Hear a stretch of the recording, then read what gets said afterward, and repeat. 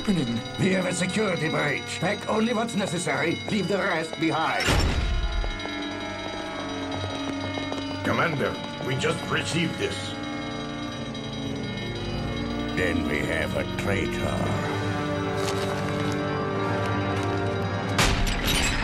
Step away from her. She's a spy. She's not a spy. Be still!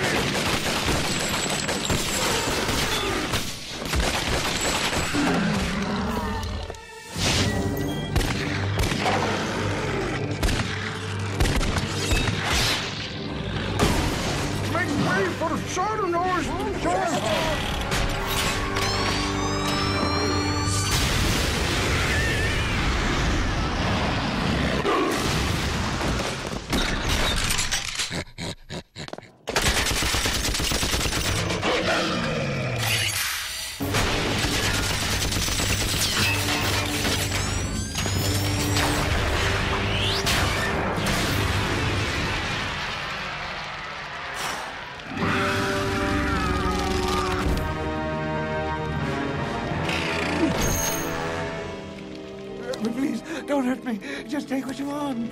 You're what I want.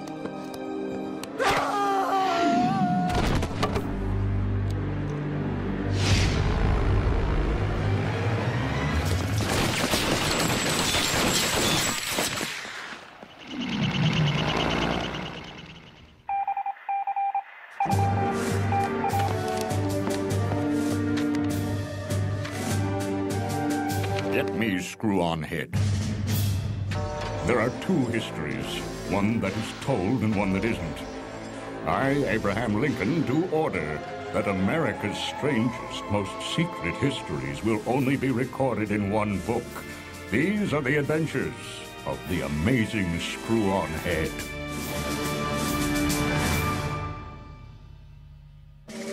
Screw On Head. Calling Screw On Head. Screw On Head. Screw On Head. Coming, Mr. President. Yes, sir. Tell me what you know about the Kalakistan fragment. Scrawled on unshaven goat skin, it supposedly details the life of Gung the Magnificent, who nearly conquered the world in 9632 BC using supernatural powers derived from a fabulous melon sized jewel. Supposedly, The fragment is untranslatable. and missing. It disappeared from the Museum of Dangerous Books and Paper, along with their foremost expert on ancient evil texts. Professor Fruin? He was abducted by two horrible old women and a monkey. Sounds like Emperor Zombie. Sounds like you're right. Then Fruin's deciphered the fragment. And zombies got 'em both. The belly's telling me he's scratching to finish the job Gung started 10,000 years ago. Given your personal history with Emperor Zombie, I can't ask you. That I'm volunteering. Our informant in Marrakesh has given us the precise location of Fruin's last known whereabouts. The trail starts there. All due respect, Mr. President, the trail starts with your informant in Marrakesh. Mr. Groin? Here, sir. I'll be needing a body for this. What about Lucky 13? Anything, only let us have progress. Yes, yes, hurrying along. So what's this I hear about a personal history with Emperor Zombie? Oh, that. That's nothing. There's a history. I wouldn't call it personal.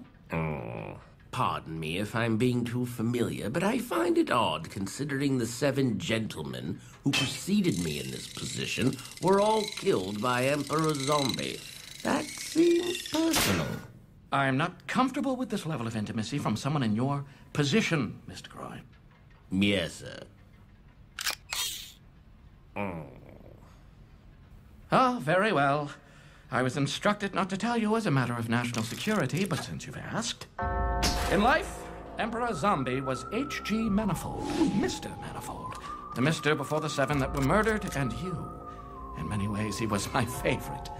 He was certainly the smartest, had a taste for ancient, forbidden knowledge. Tragically, it was his undoing. Evidently not, sir. if He's still kicking about causing trouble. Yes, it's as I always say. All really intelligent people should be cremated for reasons of public safety. Better late than never, I say. Being too familiar. Ready, Mr. Groin? Ready, Mr. Head? Godspeed, screw-on head.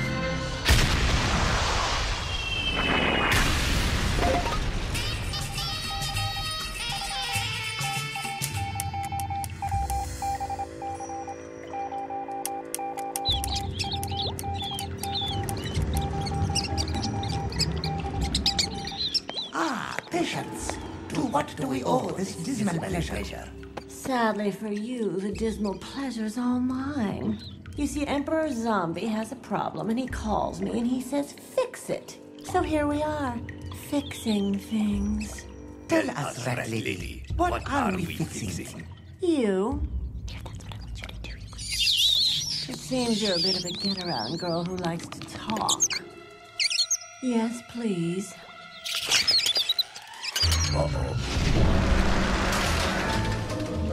Screw.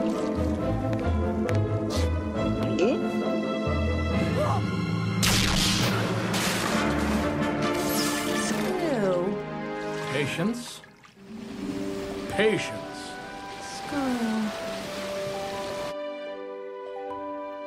You make me feel alive and full bodied. I look into your eyes and see there's a life outside my head. I love. I want to say it first. I love.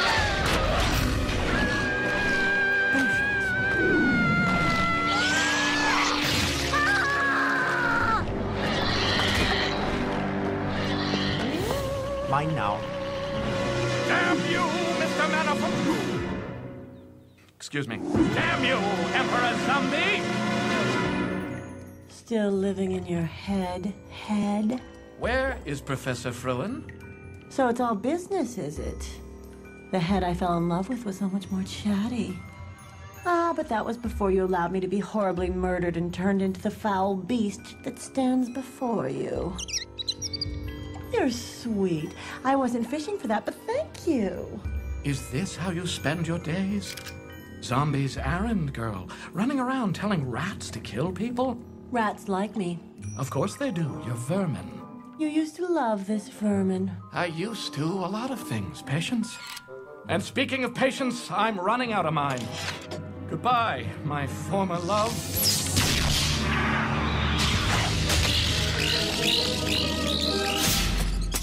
I've got her! you Know something I don't know. Who's there? What is the meaning of this? I thought I was clear. You know something I don't know. I'll tell you everything. I want to know what this says. The scroll of Gung? It's untranslatable. Why steal a book you can't read? That's silly. Um, I was attempting to translate it. Ooh, how far'd you get? Not very. You're no fun. Piggy little professor keeping Gung's secrets all to himself. There's only one way to truly know everything you know. Ask politely. I'm going to smoke you. Last words before I spark it? Wait! I know where Gung's temple is. Oops, so do I. Just can't get inside the damn thing. Ricky.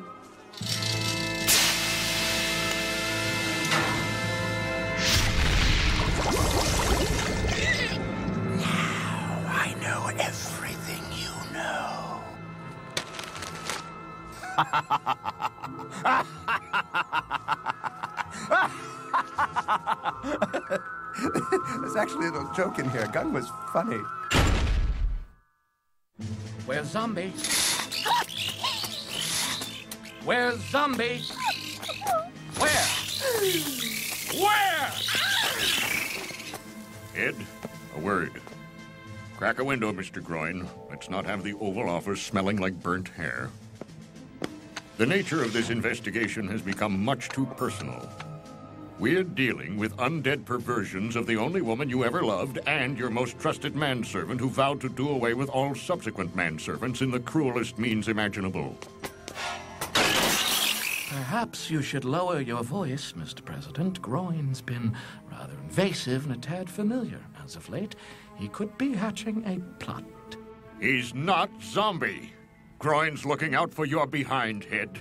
You can't keep him at arm's length. I admit there are unresolved issues, but I won't allow them to get in the way of national security. America is depending on me, Mr. President. And by America, I mean the world. He's picked up a scent. We're coming for you, zombie.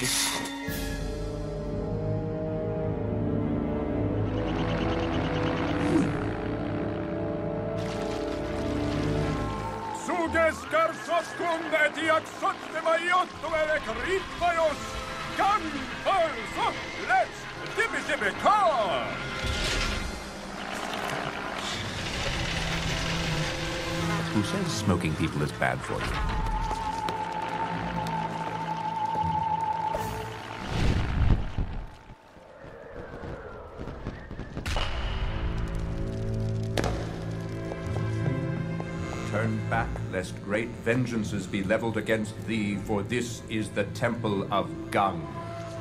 And what do you have to say? You've done it. Eh? I'm so excited, I just made water in my pantaloons. I wish Patience was here. Not that I don't like you. I do. It's just she's not quite so old. Uh, she's old, but not like you. Uh, not like that. You understand. Ooh, look, it's Gung. Foolish mortal. Do I look mortal to you? Here it is. Vangang Agroesh, the left eye of Nog, the jewel worshipped by the wizards of Mu and the black priests of Atlantis, finally passed down to Gung the Magnificent, who was chosen by the gods to conquer the world with it. And now, it's my... Ew. It's not a jewel, it's a dirty old piece of crap. It's a turnip. And it looks like it has a small parallel universe inside.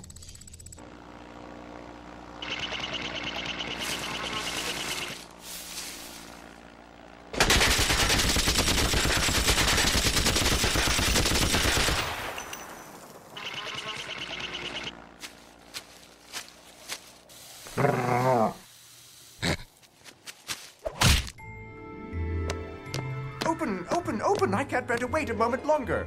I'm about to make contact. Stop right there. Screw on head. I was just saying how nice it'd be if Patience were here to share this moment, and there she is. You granted my wish. Hello, darling. Hello, my love. Unless your wish is to see her die, I suggest you put down that turnip. In this, my greatest hour, I do have another wish, but it's not that. It's to have a happy reconciliation with the head that gave me purpose. After all, I wouldn't be the zombie I am today if it weren't for you. Your purpose is world domination. And don't put your damage on me, pal. I get enough of that from this one. I'm merely expressing gratitude. Perhaps you might express an apology. Oh, no, he didn't. Apologize to you? Pardon me if I say poppycock. Then say it. Poppycock. You let America down. You let me down. You went on and on about how sweet the candy was, then told me not to put it in my mouth and got mad at me when I did.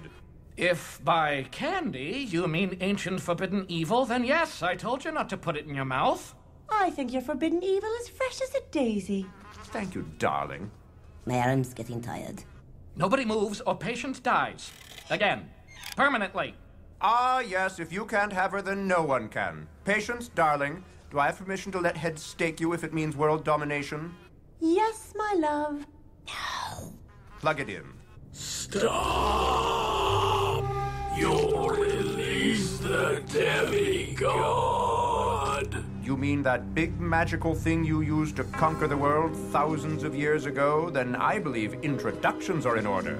Plug it.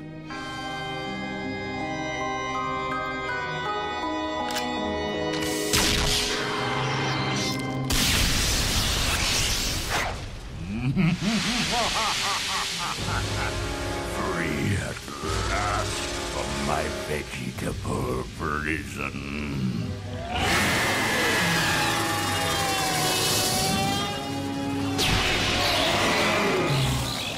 Your poor sad, insignificant brains cannot conceive of the horror that is coming now. Right now. Right this very instant. Now. The horror. I can't allow that. Bah! You are an irritant to me.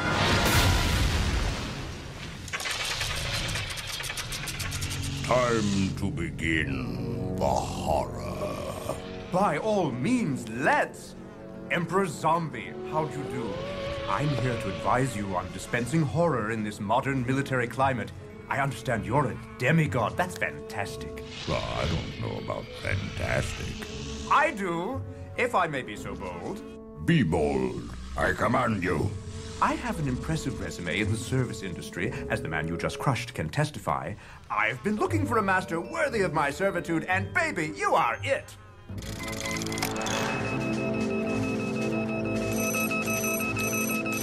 Artillery now, big guns that shoot giant rocks that bruise and dismember, which is why you need artillery too. And an army of the undead. Also an army of the undead. I always wanted one of those. You dig up the corpses, and I'll make them your slaves. Emperor Zombie, you're a fiend. Boo-hoo, you had your chance. And it's Mr. Zombie now, for I answer to the mighty demigod. Oh, oh, oh. Mr. Dog, did you come to save the day? When I was alive and he was alive, he won Best in Show ten times running. Well, the show's over now, Mr. Dog, and this time you didn't win. Um, would you mind stepping on him?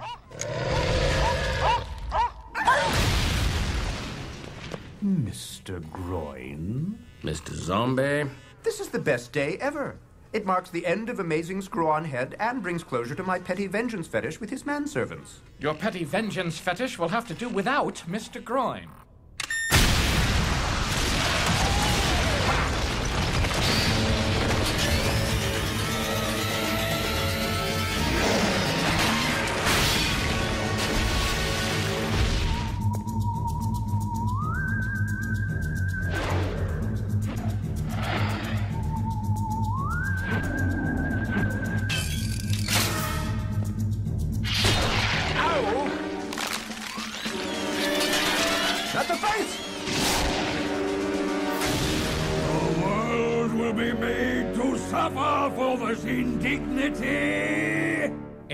Indignity?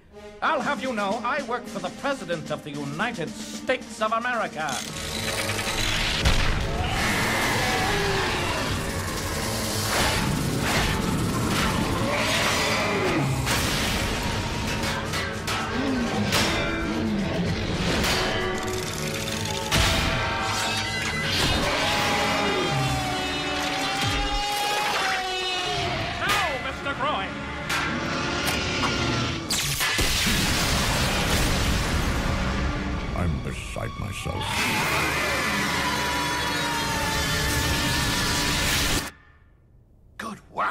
Mr. Groin.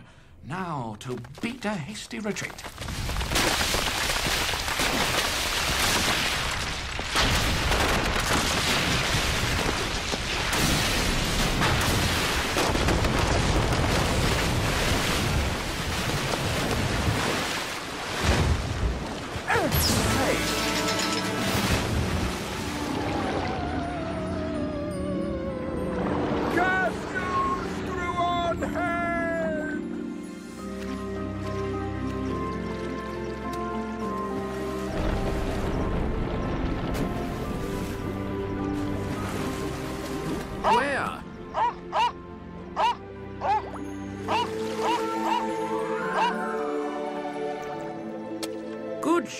Show, Mr. Gung. Thanks to you, Mr. Groin, I vanquished my greatest enemy today, who sadly happened to be my closest friend. Ah, too long I've been living in my head, friendless and alone, scarred by past betrayals. I must learn to trust again, and damn it, Mr. Groin, you're gonna show me how. From here on out, you be as familiar as you like. Yes, sir. How do you like that, Mr. Dog?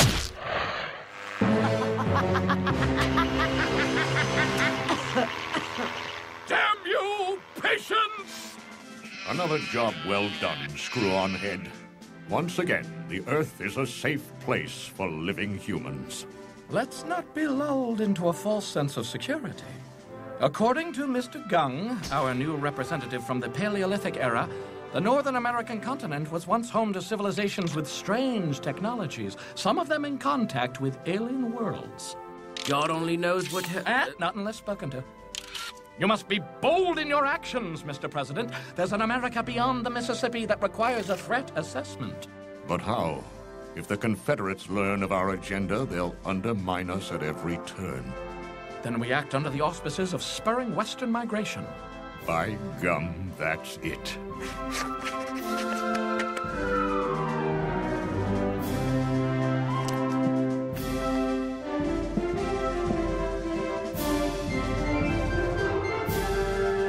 We're coming for you, America!